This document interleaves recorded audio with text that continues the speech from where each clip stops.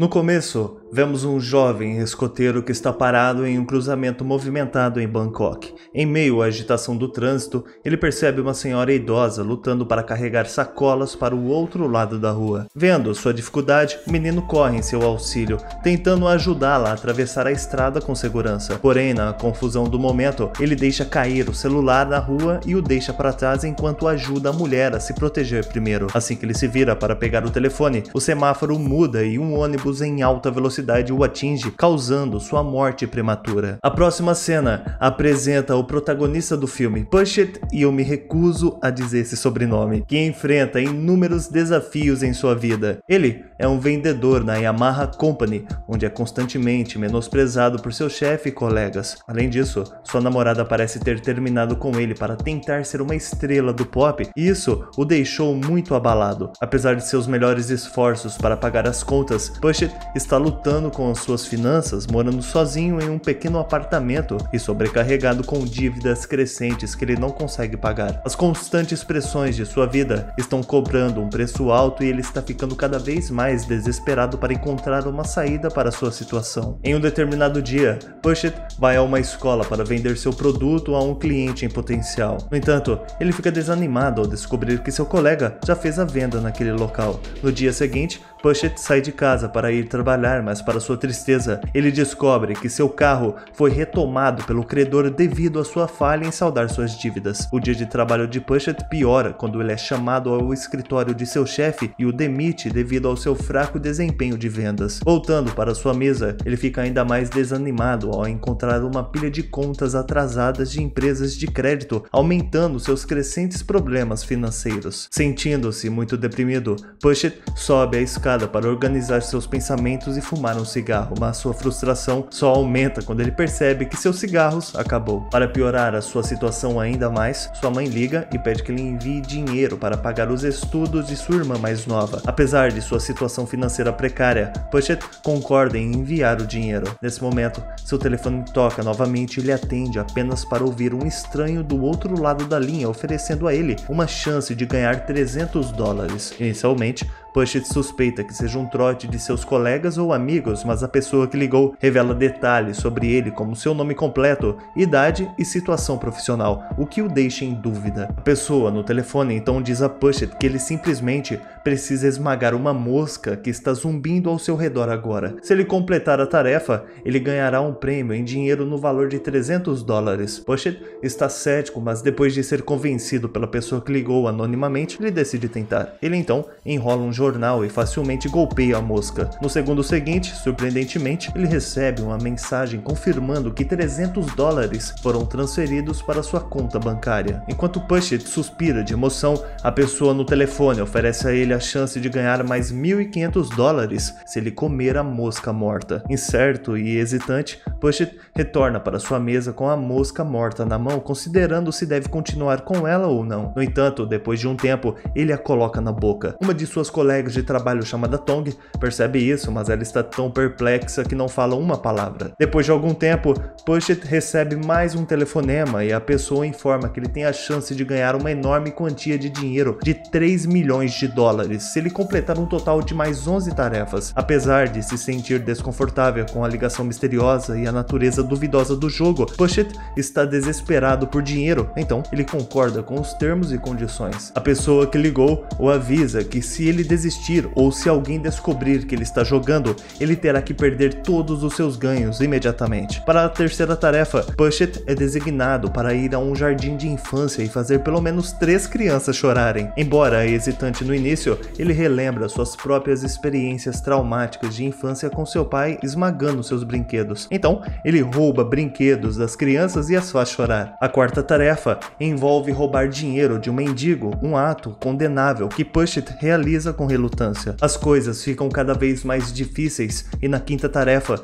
Pushit recebe a ordem de visitar um restaurante chinês sofisticado, onde ele é presenteado com um prato contendo fezes e é instruído a comê-lo. Embora se sinta enojado e proteste, o autor da chamada insiste que ele conclua a tarefa ou ele corre o risco de perder seu prêmio. Flashbacks de ser intimidado para comer fezes de cachorro quando criança aumentam ainda mais sua angústia, mas no final das contas, Pushit se força a terminar o prato e novamente Tong o pega em flagrante. Ela começa a presumir que ele enlouqueceu. À medida que o jogo distorcido avança, os desafios se tornam cada vez mais degradantes, ilegais e mortais. Antes de embarcar em sua sexta tarefa, Push It é instruído a entregar seu telefone a um indivíduo perturbado em um ponto de ônibus. Por meio dele, Push It descobre que seu próximo desafio é lutar contra um grupo de valentões adolescentes em um ônibus público em movimento para adquirir outro telefone celular. Inicialmente, Push tenta negociar com os delinquentes pelo telefone, mas quando eles começam a intimidá-lo, ele acaba entrando em uma briga física com eles. Durante a briga, Push e um dos valentões caem do ônibus e sofrem alguns ferimentos. No entanto, a luta ainda não acabou, pois o bandido adolescente saca uma faca e avança em sua direção. Quando ele está prestes a atacar, Push agarra um grande pedaço de carne e atinge a cabeça do agressor, deixando ele inconsciente e cumprindo sua sexta tarefa. O próximo desafio é ainda mais angustiante. Push é instruído a invadir uma casa e recuperar o cadáver de um indivíduo falecido. O problema é que o corpo está no fundo de um poço. Além disso, Pushit também precisa notificar os familiares do falecido e o tempo total para toda a tarefa é de apenas 10 minutos. É um desafio importante e assustador, mas como Pushit chegou até aqui, não há como voltar atrás. Ao descer no poço, ele percebe um monte de baratas em seu braço, o que assusta e faz ele cair na água. Depois de levar algum tempo para recuperar sua postura, Pushit amarra o cadáver em decomposição a si mesmo e começa a escalar para fora do poço. Apesar do prazo limitado, ele consegue sair sair e ligar para os familiares, pouco antes do prazo expirar. Pouco tempo depois, Pushit recebe outra tarefa que envolve agredir fisicamente o atual namorado de sua ex-namorada. Surpreendentemente, Pushit é rápido em acertar esse e, sem hesitar, ele pega uma cadeira próxima e desfere uma surra brutal no homem até que ele fique inconsciente. No entanto, Pushit logo é dominado pela culpa por suas ações violentas, então ele rapidamente leva o homem ferido às pressas para o hospital. Conforme Pushit continua a progredir por meio de tarefas cada vez mais desafiadoras e moralmente questionáveis, a polícia começa a perceber seu comportamento criminoso. Liderados pelo oficial Surachai, uma equipe de policiais começa a rastrear Pushit, suspeitando que sua onda de crimes seja parte de um esquema maior e mais sinistro. Enquanto isso, Tong fica cada vez mais preocupada com o comportamento estranho de Pushit. Reunindo as pistas que ouviu em uma delegacia de polícia, ela usa seus conhecimentos de informática para hackear um site chamado 13. Lá, ela finalmente se depara com a transmissão ao vivo do show de terror de Pushed. Cada movimento que ele faz, onde quer que ele vá, ele está sendo registrado. No entanto, Tong não tem ideia de que ela também está sendo monitorada de perto e que involuntariamente se tornou parte do próprio jogo que está investigando. Na próxima cena, Pushed, que agora é um criminoso procurado, se encontra no hospital. Lá, ele vê a notícia de que a polícia está atrás dele. Seu telefone toca, de repente, e o mesmo autor misterioso o avisa para evitar a polícia, pois sua captura significaria o fim do jogo e a perda do prêmio em dinheiro. Apesar do perigo em potencial, Pushit continua com a sua próxima tarefa. A oitava tarefa exige que ele ajude uma paciente a escapar do quarto número 803 do hospital. Escondendo-se das autoridades, Pushit chega à sala especificada. Surpreendentemente, a paciente que ele deveria ajudar é a mesma idosa da primeira cena do filme. Com um raciocínio rápido, Pushit se disfarça com uma roupa da enfermaria e consegue colocar a velha em uma cadeira de rodas e escapar do hospital pouco antes de Surachai e sua equipe chegarem. Nesse Nesse meio tempo, um policial do alto escalão ordena que Surachai interrompa a perseguição ao criminoso procurado. Depois de deixar o hospital, Pushit traz a idosa para sua modesta cabana à beira da estrada principal. Ele então a ajuda a secar as roupas amarrando um cabo de aço. No entanto, sem o conhecimento dele, a outra ponta do cabo está presa na estrada principal e é invisível na escuridão. Logo depois, um grupo de adolescentes em motos passa rapidamente e eles estão estão completamente inconscientes do fio e isso acaba resultando em um terrível acidente, o que faz com que todos os motociclistas percam a vida. Essa tragédia deixa Pushit arrasado e ele ataca o misterioso homem no telefone que o tem guiado por essas tarefas hediondas. Enquanto ele está aceitando as graves consequências de suas ações, Tong chega ao local e fica chocada ao testemunhar as consequências do acidente. Ela implora a Pushit que ele se entregue à polícia, garantindo a ele que eles entenderiam as circunstâncias por trás de suas ações. Tong também revela que sabe sobre o jogo que ele está jogando. No momento em que eles estão falando,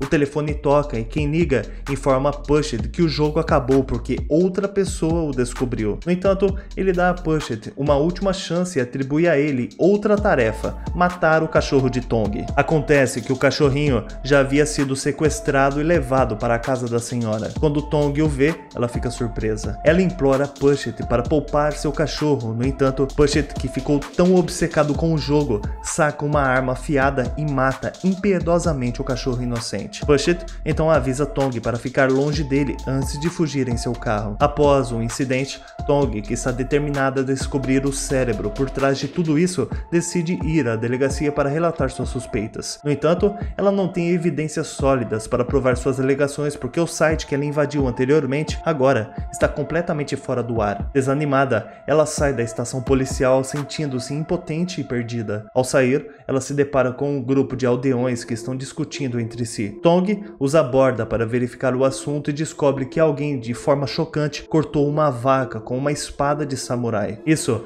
causa arrepios em sua espinha quando ela percebe que isso foi outro feito de Push It. Tong segue o rastro de sangue que foi deixado e acaba chegando em uma sala estranha com o número 13 nela. No entanto, quando ela está prestes a entrar, um homem a captura por trás. Tong é então levada para o local onde o jogo está sendo executado. Quando ela entra no local, ela é confrontada pelo cérebro por trás do jogo, um menino chamado Ki. Ele é o mesmo escoteiro que vimos no início do filme. Surpreendentemente, ele nunca morreu e a velha de alguma forma salvou sua vida. Tong tenta argumentar com ele e pede que ele acabe com o jogo, alegando que já tirou a vida de muitos inocentes. No entanto, Ki revela que não tem poder para fazer isso porque é apenas um componente disso. E o jogo de realidade underground envolve jogadores e espectadores que talvez cheguem aos milhares. Em outro lugar, quando Pushed chega ao destino final do jogo, ele fica surpreso com a revelação de que o jogo é um experimento social e todas as suas ações estavam sendo monitoradas e registradas o tempo todo. Ele então se depara com a difícil tarefa de esfaquear seu próprio pai abusivo, chamado John Adams, que está preso a uma cadeira de rodas e parece estar inconsciente. Essa tarefa final promete um prêmio em dinheiro de 3 milhões de dólares e Pushed está dividido entre a tentação de ganhar o prêmio e sua consciência. Ele começa a ter flashbacks da época em que seu pai fazia coisas boas para ele, como afugentar os valentões e trazer novos brinquedos para ele. No final das contas, Pushit decide desistir do jogo ao se lembrar do desejo de sua mãe que ele nunca se tornasse uma pessoa má como seu pai. Mas quando ele está prestes a sair, Adams acorda e esfaqueia seu filho até a morte. Com isso, que sai da sala de controle e anuncia que Adams é o ganhador dos 3 milhões de dólares. Acontece que ele também estava jogando seu próprio jogo e a tarefa final era matar seu filho. Enquanto Pushit hesitava em concluir a tarefa, Adams não hesitou. Tong fica arrasado ao testemunhar a cruel reviravolta dos acontecimentos e grita com que, no entanto, o jovem idealizador do sádico game permanece imperturbável. Em vez disso, ele revela que milhares de pessoas, assim como Pushit, e Adams estão jogando atualmente. Além disso, milhões de espectadores estão assistindo e apostando nos jogos em todo o mundo, e é daí que vem todo o dinheiro. Dizendo isso, ele chama seu segurança e escolta Tong para longe de lá. Na cena final do filme, a vemos acordando em um ponto de ônibus, desorientada e confusa. Tong é encontrada por Surachai, que ainda está investigando as mortes relacionadas ao jogo. Bom pessoal, espero que tenham gostado do vídeo de hoje e nos vemos no próximo.